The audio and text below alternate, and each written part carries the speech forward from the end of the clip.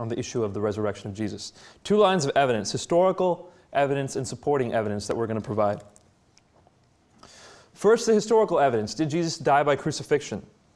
Well, first, it is the unanimous written testimony concerning what happened to Jesus.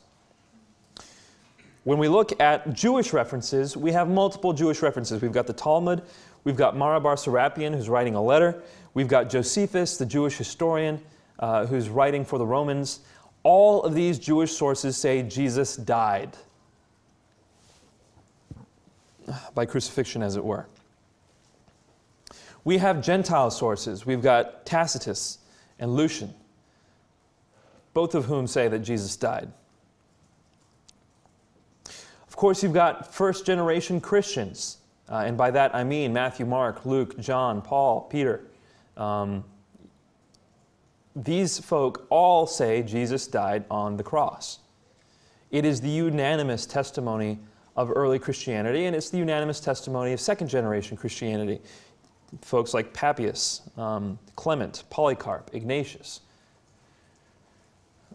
that this is what people say happened to Jesus mattered. It does matter. On the flip side, the fact that there's no reference to the fact that Jesus may have survived crucifixion also matters. Nobody even dares to say Jesus survived crucifixion. And the reason why is because people knew what crucifixion was back then. Today, when we'll say, perhaps Jesus survived the crucifixion, uh, we are basically showing ignorance of what the crucifixion process was.